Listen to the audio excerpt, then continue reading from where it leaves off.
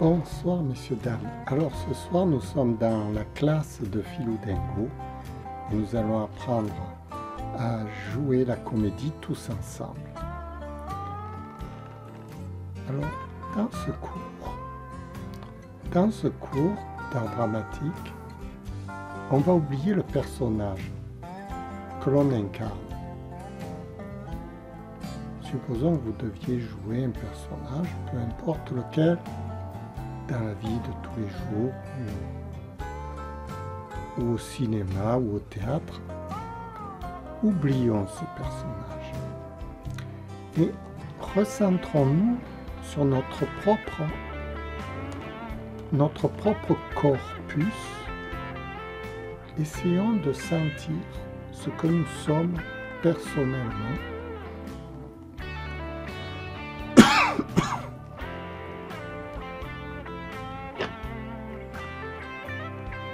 de façon à faire une introspection en soi-même.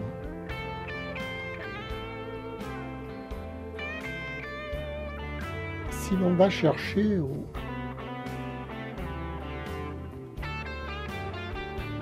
en soi, c'est-à-dire les émotions que l'on éprouve à cet instant présent, la mécanique de notre corps, qui nous sommes, ce que nous représentons. Il va y avoir une connexion avec l'univers en quelque sorte, à travers le ressenti, le ressenti de notre propre corps, on va se connecter à l'univers. Et on va commencer à respirer, à se sentir bien. C'est un peu un exercice de sophrologie, en quelque sorte, puisqu'on réintègre la sérénité que l'on éprouve en soi personnel, on se calme, on n'a plus du tout d'émotions, de divagation d'esprit, etc. On va se penser à notre propre corps, à notre respiration, à ce que nous éprouvons en nous-mêmes, notre bien-être en quelque sorte, si vous allez bien, si vous vous sentez bien, Faites une relation avec votre propre corps.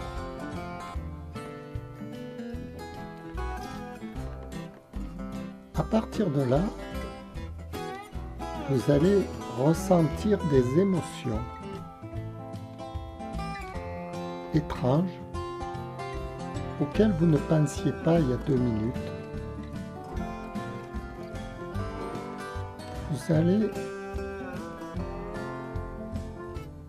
avoir comme des, sentiments qui vont naître dans votre tête, qui vont naître tout seuls. Ces sentiments,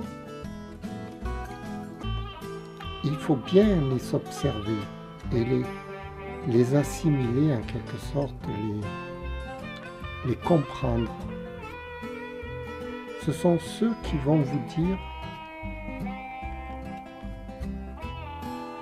ce que vous ressentez, ce sont eux qui vont être réels pour vous, l'émotion que vous allez éprouver devant la caméra ou devant votre public avec vos amis. Il faut faire une connexion avec votre corps, votre pensée, vos sentiments très très forte, très intense, de façon à ce que vous soyez vrai, vrai. Vous reflétiez ce que vous êtes vous-même à cet instant présent.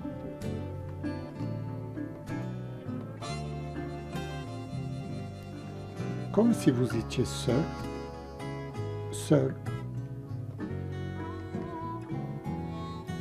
Et à partir de là, vous allez essayer de comprendre qu'est-ce que ces sentiments que vous éprouvez au plus profond de votre être sont en train de vous parler et de vous dire.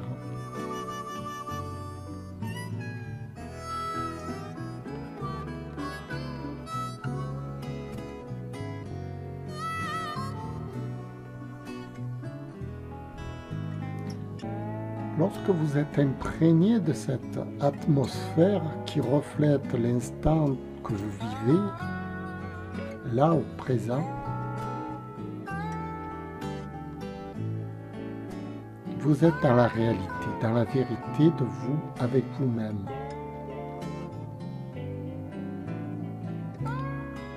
Et à ce moment-là, vous allez pouvoir dire votre vérité au public, aux gens qui vous entourent. Votre propre vos propres sentiments, vos propres émotions, vos propres inquiétudes, vos propres problématiques qui se posent, que votre esprit laisse entrevoir.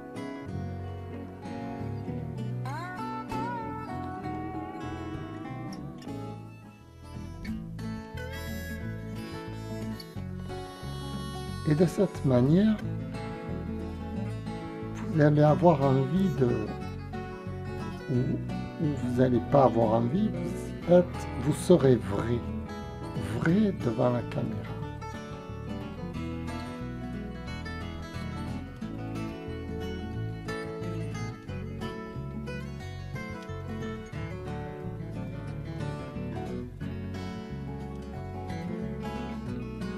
Même si ces sentiments, vous ne voudriez pas les montrer, parce que vous pensez qu'ils sont à vous, c'est votre intimité qui vous appartient. Mais en tant que personnage public,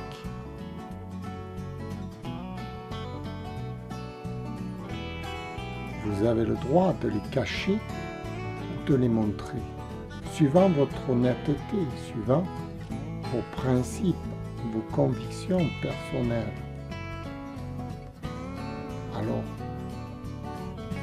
les convictions personnelles de l'acteur, c'est tout, c'est le mobile, c'est ce qui va entraîner le mobile. Les convictions personnelles de l'acteur dépendent de son caractère propre que l'on peut découvrir dans l'énéagramme E2N, E, A, G, R, A, 2N, E. L'énéagramme, ce sont les profils de personnalité.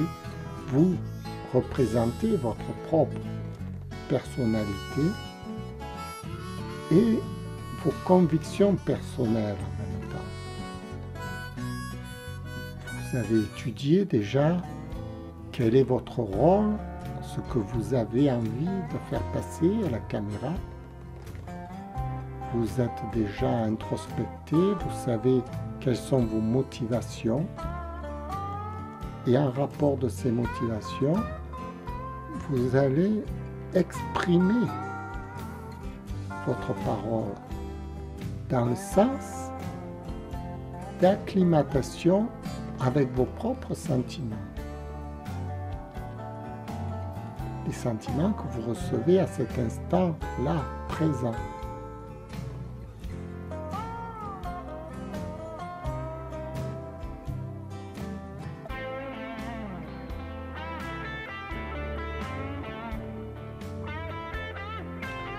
C'est un travail qui demande beaucoup d'observation, beaucoup d'introspection, beaucoup de remise en cause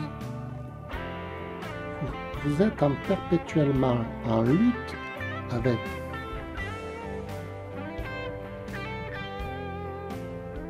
les fausses croyances. Les fausses croyances, c'est les paroles qui vous avez entendu, les, les actes que vous avez vus à la télévision ou dans la réalité, ce sont les échos qui proviennent de l'extérieur, qui vous ont perturbé. Ces fausses croyances, pour pouvoir lutter contre, parce que si vous ne luttez pas contre, elles vont vous, vous asservir. Les fausses croyances, ce sont les, croyances populaires, la rumeur. Si vous vous laissez entraîner par une fausse croyance, vous allez être dans le faux perpétuel. C'est-à-dire que vos sentiments seront déformés par les fausses croyances. Votre vision du monde est complètement fausse. Le personnage que vous allez incarner sera faux. Parce qu'il n'aura pas de logique. Il obéit à des fausses croyances. Les fausses croyances, c'est l'ennemi du comédien, l'ennemi numéro un de l'être humain. Avec des fausses croyances, on arrive des catastrophes sur la Terre. Parce que on ne prend pas soin de préserver, de se préserver à cause des fausses croyances. On s'engloutit dans un chemin qui est faux. La lutte des fausses croyances, c'est l'objectif numéro un du comédien. C'est pour ça qu'il faut qu'il fasse de la psychologie, qu'il étudie l'analyse transactionnelle, qu'il étudie les psychologues qui parlent justement de ce phénomène de façon à ce que lorsque le comédien se recueille en lui-même, qu'il aille chercher au plus profond de lui les sentiments qui émergent, ce ne soient pas des sentiments parasités par les fausses croyances, ou tout de moins des sentiments qui vont être en adéquation avec la réalité véritable de l'entourage et de ce qu'il passe, de façon toujours à ce que le comédien soit vrai sur la scène. Le plus important, c'est d'être vrai. C'est paradoxal puisque la comédie en général pourrait être du mensonge, on assimile ça à une comédie, à un délire. Et je préfère personnellement vivre la comédie comme une émanation de la réalité plutôt que d'une émanation d'un fantasme de fausses croyances. Parce que si on va faire de la comédie dans une émanation fantasmatique, mais fantasmatique dans le sens de perturbation, dans le sens de faux, dans le sens de croyance, de fausses idées, et à ce moment-là, on va être contre-productif. Parce que on va laisser croire, au public que ce que nous disons est la réalité. C'est pourquoi le comédien doit être extrêmement perspicace pour être réellement lui-même dans la propose au public sans jamais mentir. Je pense que c'était costaud ce soir, très costaud très costaud, c'est pour vous expliquer comment, pourquoi la comédie est si importante de nos jours. L'art de la dramaturgie intime, très important. Voilà, Je vous remercie d'avoir écouté. J'espère que ça vous a plu.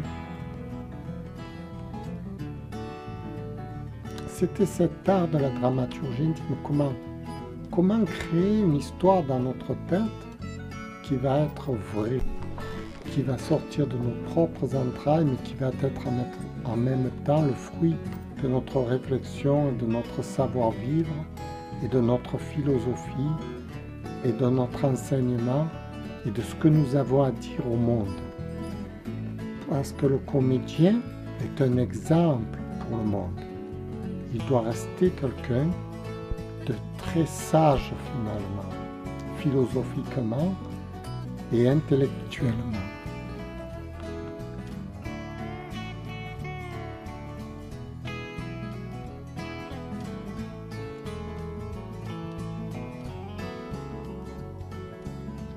Pourquoi? Parce que le peuple se reconnaît à travers le comédien et le comédien est comme un exemple à suivre, quelqu'un qui va donner l'impulsion au peuple, une certaine impulsion, une certaine force, une certaine... Et cette euh, impulsion doit être dans un sens prolifique et dans un sens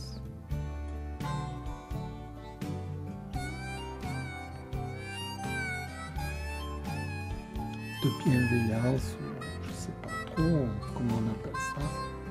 L'impulsion du comédien doit donner la motivation au peuple de vivre et d'être heureux en même temps.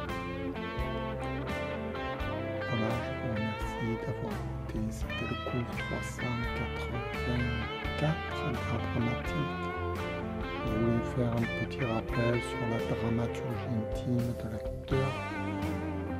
Cette dramaturgie intime qui est toute la source dans laquelle le comédien s'inspire, qui part du profond de son âme profond de ce qu'il ressent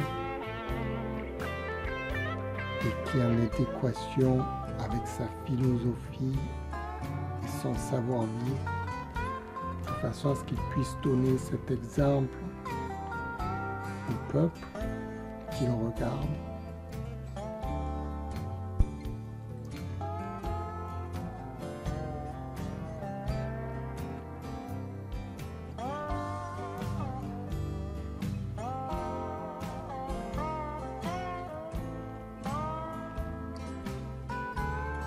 Ou réconcilier, lui apporter une petite, petite joie intérieure.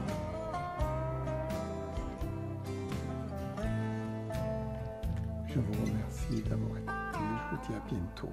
Au revoir.